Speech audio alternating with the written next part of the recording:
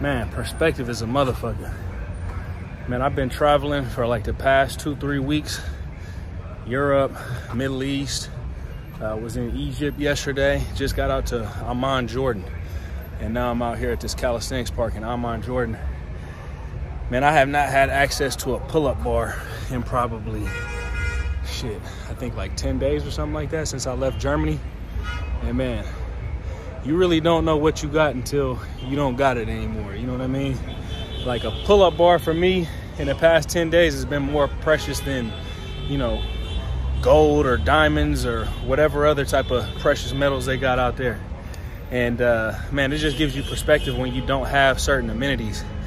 And it's not necessarily a bad thing. Sometimes I think that a lot of the times when we pick up gems in life is usually when we're kind of at a I wouldn't even say rock bottom. It's not rock bottom.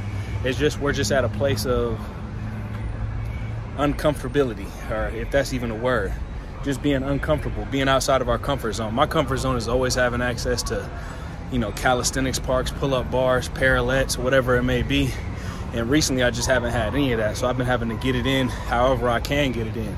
And now that I actually have a calisthenics park at my disposal, even though this isn't even the best calisthenics park, if you guys notice right here, the dip bars are like super wide. You can't even do dips on them. Same with these ones. You can't even do dips on these dip bars, but I'm just using them for uh, handstand push-ups. Pull-up bars hella low, but it's all good. It's equipment. So just be thankful for what you got. And that goes for any aspect of life. Egypt, I did some research actually. And funny thing is I did research on a bunch of different countries just because I kind of saw how the way of life was out in Egypt and how people are kind of, I would say, like money hungry to a certain extent, but not necessarily in like a super disrespectful way. I would say they definitely are very pushy and trying to sell you things and different things of that nature. But the average GDP, the average income per year, I think per family is like 3,800 bucks. So you got to think about it. If you could coming from a country like America or Britain or any of these other countries, you know, I, I don't know what the average income is in America, but I could guess that it's somewhere around like forty to forty-five thousand dollars per year, something like that. I don't know what it is in England. I really don't know any statistics, but I know it damn sure it ain't nowhere near thirty-eight hundred dollars a year. So we just got to be thankful for what we have, and also understand that we don't need as much to live a good life. Like other people are living great lives, they're content with what they have I wouldn't necessarily say content is a good word, but they're satisfied with what they have, even if they're trying to strive to get more, and they might not have as much as we have. So when you put yourself in kind of like an uncomfortable situation and you start living in a different area or traveling around the world, you'll kind of see that some of these amenities that we're, we just take for granted, they're not amenities that other people have. As a matter of fact, it's like if you have the bare necessities, the bare necessities in the United States is like living a life of luxury in a lot of other countries. And you know, calisthenics parks is another thing. It's like sometimes we might be living in an area where we have an abundance of calisthenics parks. We take it for granted. You know, we skip out on training days because we think that we can just go do it tomorrow. But you know, when you get into a situation where they have absolutely no calisthenics parks like Egypt, or very little calisthenics parks, maybe like like this uh, city, Amman, Jordan, and this is like a major city out here. I think it's the main city in Jordan. But when you when you get into a situation like that, you start appreciating the little things in life, and you know you kind of start seeing what your character is made of too. Because some people just can't survive when they don't have the luxuries that they're used to in America. They don't have the luxuries that they're used to wherever they come from, and they just can't cope.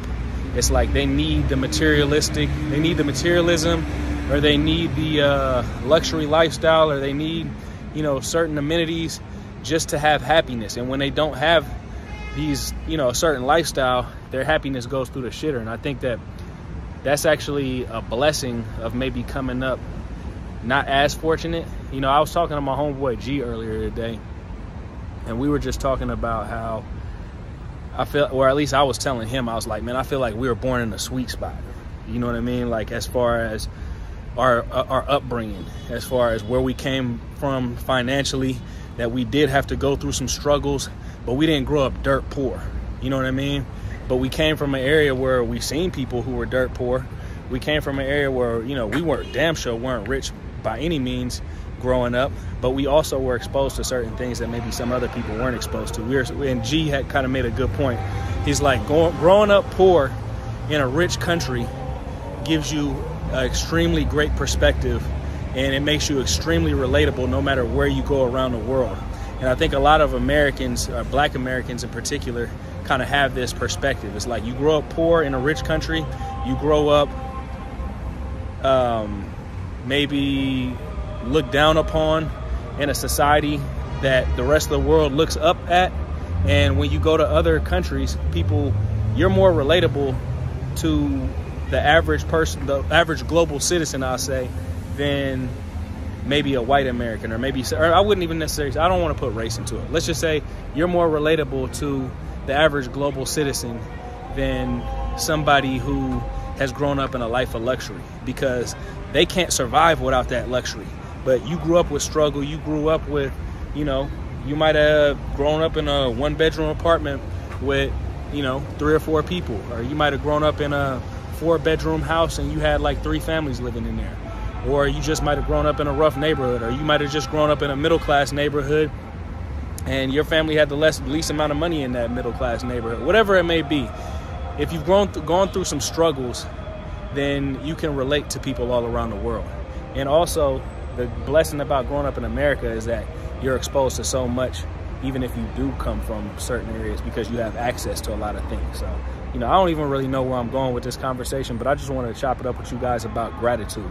And for me, this trip has kind of been and this is actually pretty dope little time of the day. I don't know if you guys can hear it, but they're doing a call to prayer right now. So anytime you're in one of these Muslim countries, it's like I don't even know how many times a day that they pray, but they just have these blaring loudspeakers of these songs or these prayers, and everybody just stops what they're doing and they start praying. So call to prayer is pretty dope. You know, it might wake you up in the in the morning, but it's just a part of that travel experience. So, you know, when you're in a Muslim country or you're in a country that practices this faith, this is what comes along with territory. You know, you're gonna hear these type of things. It might wake you up in the morning, but I look at it as a beautiful thing because people are devout here and they take their faith very seriously.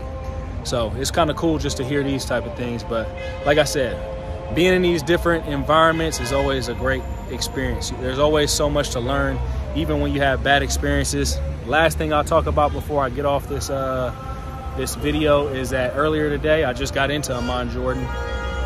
Had the, the flight was probably one of the worst flights I've ever had in my life, and honestly, I could look at it and I can kind of laugh at the whole situation. I was actually kind of laughing at the whole situation as it was going on, even though it was super uncomfortable. I didn't get any sleep last night. I probably look like I'm tired right now just because I haven't gotten any sleep, and basically we left Luxor, Egypt at 7 p.m. last night. Had a layover in Cairo, Egypt. The layover was supposed to be maybe like two hours. That flight was delayed a little bit. And then that actually, originally that flight was supposed to be like a one hour layover, but then it, the flight got pushed back for some reason. And then it got pushed back like two or three hours.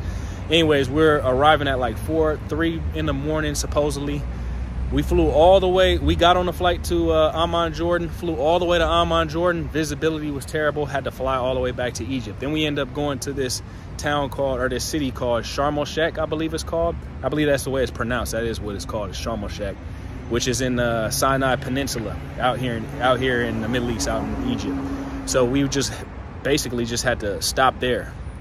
Flight attendants didn't give us any information customer service didn't give us any information at all. And by the way, this is on Egypt Airlines. I've got I rate Egypt Airlines extremely low. That's probably the worst airline I've ever flown in my life. But anyways, customer service didn't give us any information. They just dumped us off the plane, put us in this cold ass terminal. Everybody was freezing cold. I was trying to get a little bit of sleep, but they didn't give us any updates the entire time. And then once it was time to like reboard the plane, I had to ask the, the customer service agent, I was like, man, what's going on? Is the flight canceled? He's like, oh, no, it's not canceled. You know, you guys are leaving two hours. Anyways, five hours later, people just start getting up, bum rushing the door because they're trying to get to the uh, aircraft. So then we ended up figuring, you know, because there's no announcements, we just got up on the plane or just got up with everybody else and got on the plane. Then it was just a whole ordeal, you know. It just was an uncomfortable situation. I, if you check my Instagram, Travelsthenix, at Travelsthenix, you guys can probably see I put a story on there if it's still up there. But anyways, guys, this is just the travel experience was was shitty, but at the end of the day, it also gives you perspective on like one of the things I kind of thought about during that whole time is like that flight from Cairo, Egypt to Amman, Jordan was supposed to be, I believe, an hour and 20 minutes. We were in the air for about four, four and a half hours before we ended up landing in Sharm el Sheikh, and then we ended up having to get back on a plane. One of the things I actually thought about while I was on the plane was that even though we were like taking hell long, I actually didn't even really know what was going on. I was like, man, this flight's way longer than I anticipated it to be. But one thing I thought about was like, man, I'm glad I ended up getting a seat in the back of the plane because I had a whole row to myself. And think about how uncomfortable it would have been to be circling around uh, the airport out here in Amman, Jordan, if I was sitting in a middle seat or something like that. So that was one form of gratitude. And then another, the most basic form of gratitude when you're traveling is just that, you know, you arrive to your destination safe and sound. That's literally the most important thing. And having that type of gratitude, that's the one thing I, I, you know, I always say a prayer before I get on a plane, or I say a prayer right when I do get on a plane about, you know, safe travels and just kind of where I'm at in my life and different things of that nature and also being thankful for everything that I have in my life as well, but also a prayer for you know safety and all that type of stuff. So this is just something I do every time I get on a plane. Maybe because I have a little bit of fear of flying, but just being able to arrive to your destination and travel safely is something to be grateful about. So gratitude is extremely important. Sometimes we're in uncomfortable situations. Sometimes we're in uncomfortable situations for extended periods of time. But the thing, the best way to look at it is that these uncomfortable situations don't do anything but sharpen our tools up. So just look at, you know, whenever maybe you're down on uh, down on your luck, or maybe when your finances aren't as good as you'd like them to be. You know, it's just a time a time period that's sharpening your tools up. It's just getting you prepared for what you have to come because whenever your finances do get in order or maybe whenever you do get in the right situation you're going to be much more grateful for being in that situation than you would have been if you never would have went through that rough patch. And that's the way i look at it. One last thing before i cut out. I know i'm rambling. I know i, I do this a lot in my videos. I was thinking about this as well earlier and i was chopping up my homeboy james about this earlier and this it actually ties into finances and that's the reason why i wanted to say something about it. It's like people will make an excuse not to do everything. Like, I, people leave comments in the comment section about how I travel around, or they might even hit me on a private message on Instagram or email me or something like that, and like, oh, how do you manage to travel around the world? And you know, how do you? You must be making a lot of money. I'm not, man. I'm poor. Like literally, I'm telling you guys, I'm poor. Like financially, I'm poor. I'm rich in every other way in life. I'm wealthy in every other way in life. You know what I mean? But as far as finances, I'm in, in American standards, I'm a poor man. But I still find a way. If there's a will, there's a way. And that's one thing I want to tell you guys when it comes down to your fitness. If you guys want to get into shape, if there's a will, there's a way. You'll do it. If you're committed, if you're, you know, you know, committed to the process, if you stick with it, if you got that seven days per week mentality, if you, you know, this is something that you want more than just you want to get to a destination, it's a lifestyle that you want to live. Travel is a lifestyle I like to live. Calisthenics is a lifestyle I want to live. So I always find a way. Even if I always find a way, even if the circumstances aren't good. I haven't had access to a calisthenics park, still been getting it in.